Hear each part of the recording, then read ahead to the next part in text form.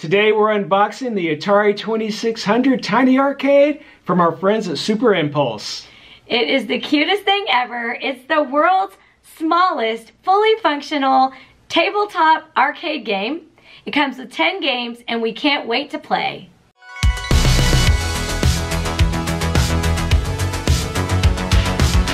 Abby, in the 80s, did you own an Atari? I did. I had the Atari system, um, but my parents kept it in their bedroom because that's where the TV was.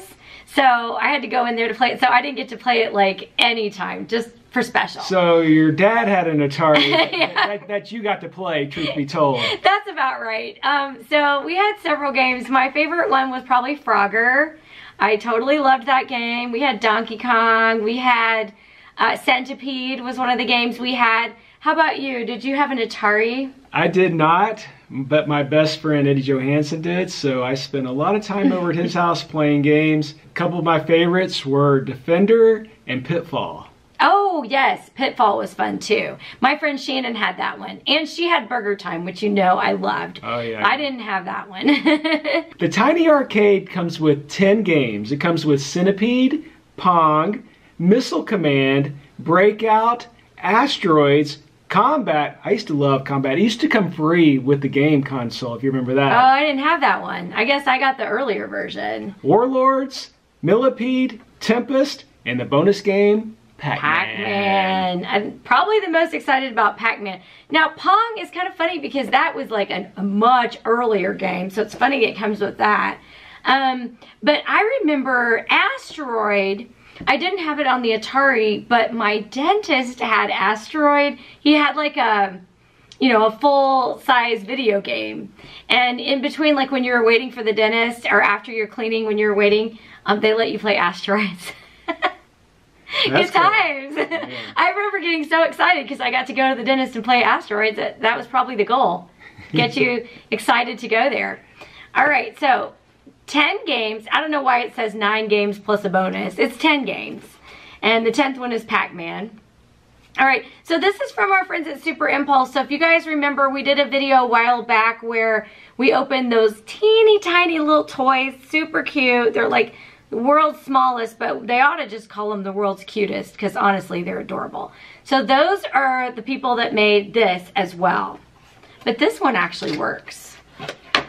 I'm curious. I'm curious to see how this works. It has one controller, so we don't know if it's one player or two player, but uh, we'll see.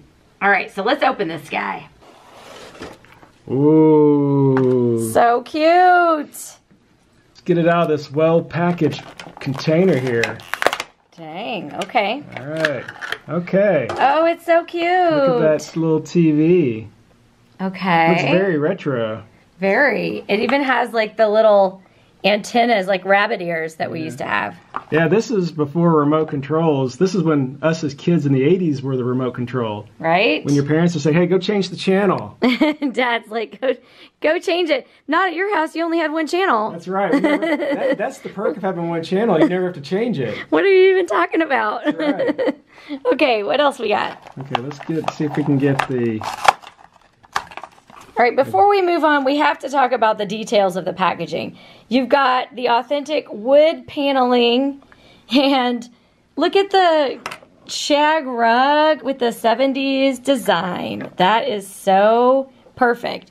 Because even though we were kids in the 80s, our houses were mostly decorated in the 70s. So for those of y'all that thought we had neon everything, not so. Mostly it was orange and brown. You got the nice harvest gold. Totally. This has several cool features. One, if you notice underneath, it actually has legs for the, uh, the TV stand. Okay.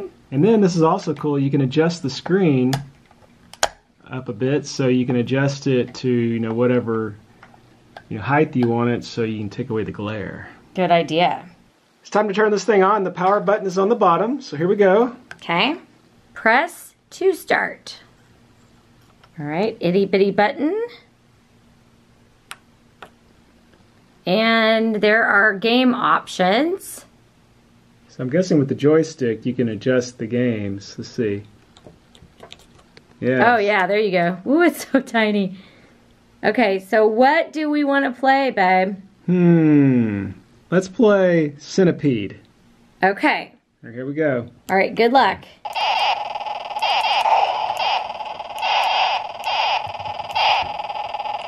It's really hard. it's so tiny. Look at Keith. He's struggling. oh, I died. Oh no. All right, it's really hard. I need to like take my contacts out. Oh, you need your glasses. Your we need our reading glasses.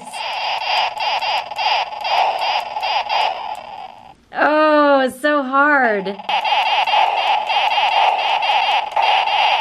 All right, Keith, what are your thoughts so far? It's cool, but it's really hard because it's really small. I'm an old dude, and, and it's hard to see. Do you need to go take out your contacts? I think I need to take my, take my contacts out because I can see closer up better without my contacts in. Not gonna lie, I totally brought my reading glasses down here to play this thing. But other than that, very cool. Is it my turn? Yeah, your turn. Abby, what game are you going to try? I'm gonna try asteroids. Why is that? Cause that's what I played at the dentist. Okay, let's see. Let's see if you still have skills. Okay. I can put on my reading glasses so I can see.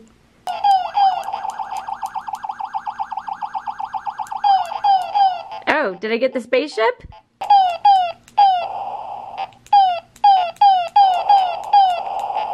Oh, shoot. ah, one came right at me. Oh no. Game over. Game over. First impressions? That was hard. um, it wasn't exactly how I remembered it, but it was definitely the same sound effects that I remembered. It's just on a way smaller scale. So super challenging, but it's very cute. All right, now Keith is gonna play Pac-Man. Yes. Do you have Pac-Man fever? I do. Can't you tell? I got the fever. okay. All right. Oh, what was that noise? Oh, this is the old Pac-Man, not the arcade version. He doesn't even like when he goes up. He's still sideways. He like he doesn't like actually go down. Oh, This is old school. yeah, I forgot. This is how it used to be. I've never played this version. It's like the super basic version.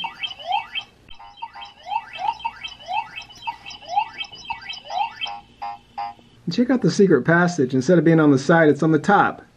Here I go. Oh, weird. Whoa. Yeah, I totally forgot the Atari version was different, way different from the arcade version that came later. Okay, now Keith is playing Pong.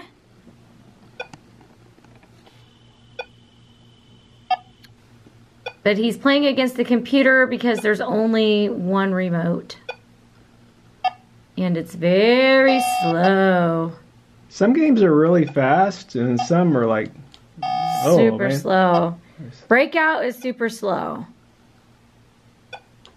Pong is very much like Breakout, but it's just the paddles instead of the little bricks that are breaking. It's just the paddles that hit the ball back and forth.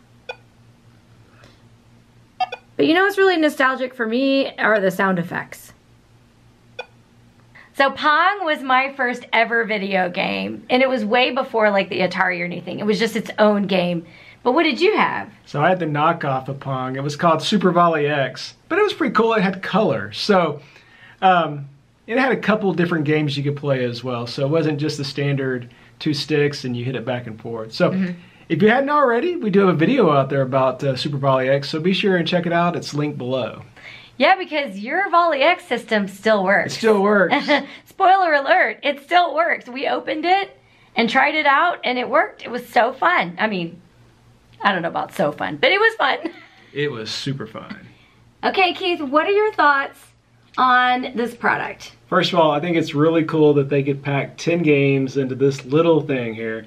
Yeah. My only upgrade would be is two controllers so you could play against another person. Yeah, Keith and I are competitive. We wish we could play against each other, especially in like Pong.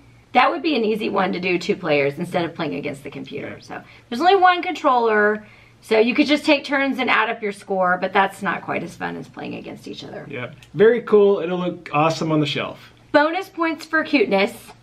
Yeah, very realistic. the controller even looks like the one I remember as a kid. Or not the controller, the, the console. console. Yeah, it's super, super cute. Just like everything that Super Impulse makes is always really cute, really accurate.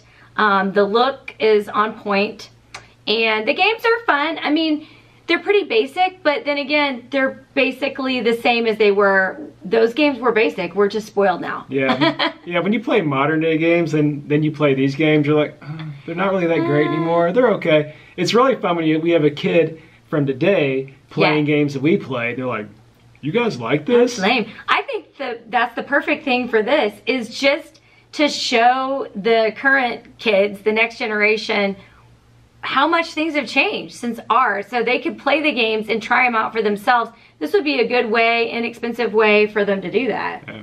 Keith, where can our friends get one of these if they want one? You can pick one of these bad boys up for about twenty dollars at Amazon, All right, or Walmart also has them. Walmart, but Walmart's going to charge you thirty dollars. so I would go to Amazon if I was you. All right, so we will put a link for this below, and thanks so much for watching. We'll see you next time.